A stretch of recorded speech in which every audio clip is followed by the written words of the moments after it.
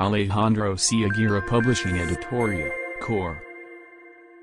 Como les estaba diciendo, todo tiene un principio y un fin. Los fracasos, las adversidades, las derrotas que vivimos, que son pasajeras, nos enseñan algo, pero ese algo que necesitamos saber. Por eso debemos entender a través de la metáfora del águila y de lo que es el bambú japonés, cómo nosotros podemos convertirnos en personas resilientes.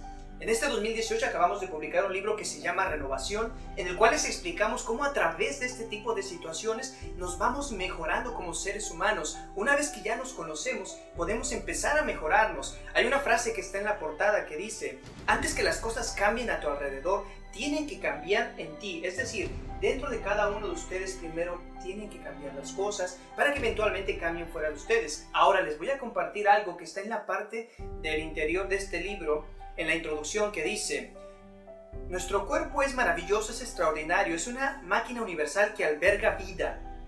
Una de las maravillas de la evolución del instrumento que transporta el alma es que está en constante regeneración. Cada minuto mueren miles de células en su interior mientras otras están naciendo.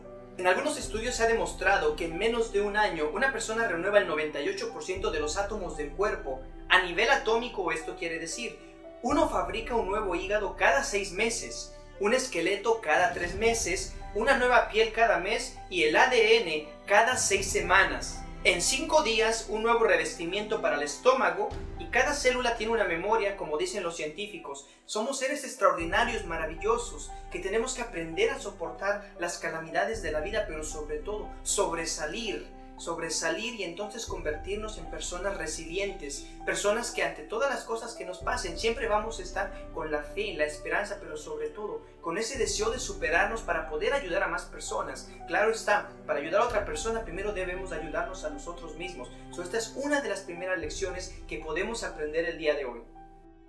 Alejandro C. Aguirre Publishing Editorial, Core.